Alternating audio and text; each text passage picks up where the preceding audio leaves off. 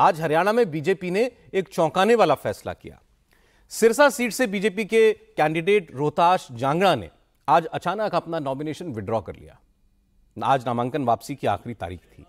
BJP नेता Ashok Tanwar high command के messenger के तौर पर सिरसा पहुँचे। रोहतास जांगड़ा को हाईकमान के फैसले की जानकारी दी, फिर खुद उनके साथ पर्चा वापस लेने के लिए गए। अब सिरसा में बीजेपी हरियाणा जनहित पार्टी के चीफ गोपाल कांडा को सपोर्ट करेगी।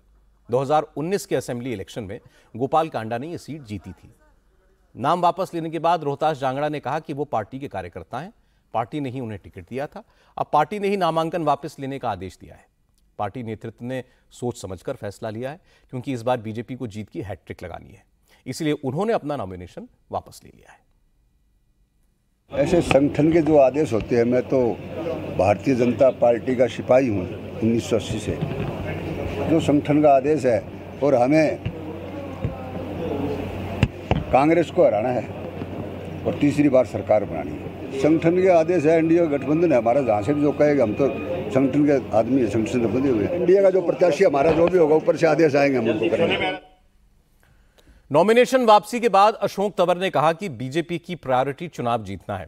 कांग्रेस को किसी भी कीमत पर रोकना है। इसलिए पार्टी हाईकमान ने यह फैसला किया।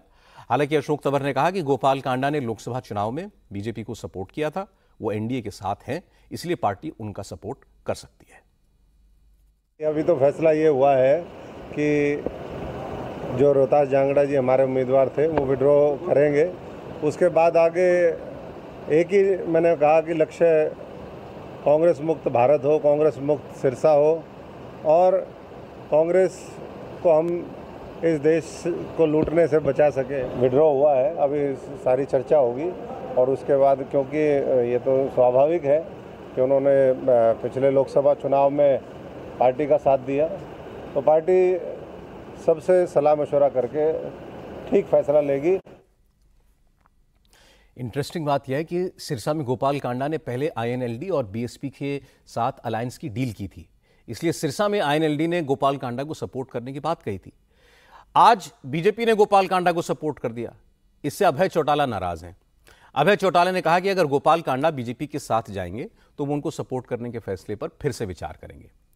इस बीच बीजेपी के सीनियर लीडर अनिल विज ने भी पार्टी के लिए एक नई मुसीबत खड़ी कर दी। हरियाणा का के पूर्व गृह मंत्री और अंबारा कैंट सीट से बीजेपी के उम्मीदवार अनिल विज ने खुलकर मुख्यमंत्री पद पर अपना दावा ठोक दिया। अनिल विज ने कहा कि मुख्यमंत्री कौन होगा, इसका फैसला तो पार्टी हाईकमान को करना है, लेकिन वो खुद भी मुख्यमंत्री की कुर्सी के दावेदार हैं। चूँकि बीजेपी हाईकमान ने पहले ही इस बात का ऐलान कर दिया है कि नायब सिंह सैनी ही हरियाणा में मुख्यमंत्री का फेस है, इसलिए कांग्रेस के नेता अब अनिल विज के बयान पर मज़े ले रहे हैं। आज भूपेंद्र हुड्डा ने अनिल विज के साथ सिंपथी दिखाई। उन्होंने कहा कि बीजेपी अपने नेताओं के साथ यही करती है। विज के साथ पहले भी गलत हुआ था, आगे भी यही होगा। अनिल विज साहब का एक बयान आया कि अब की बार तो मुख्यमंत्री पद की दौड़ में मैं भी हूँ और मैं दावेदारी यही तो दर्शाता है कि आज बीजेपी में क्या हो रहा है। अनिल विज के साथ पहले भी जाती हुई आगे भी कोई उम्मीद नहीं। इसके बाद चौधरी वीरेंद्र सिंह ने भी बीजेपी पर निशाना साधा। उन्होंने कहा कि वो 10 साल बीजेपी में रहकर देख चुके हैं। बीजेपी कभी अपने अच्छे नेताओं को आगे बढ़ने का मौका नहीं देती। वीरेंद्र सिंह ने कहा कि अनिल विज हरियाणा में पार्टी के सबसे सीनियर नेता हैं। एक्सपीरियंस्ड है। लेकिन यही उनके नेगेटिव पॉइंट है।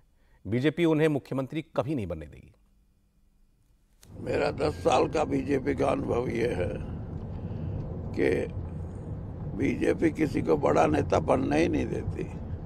और जो बड़ा नेता गलती से बीजेपी में चला जाता है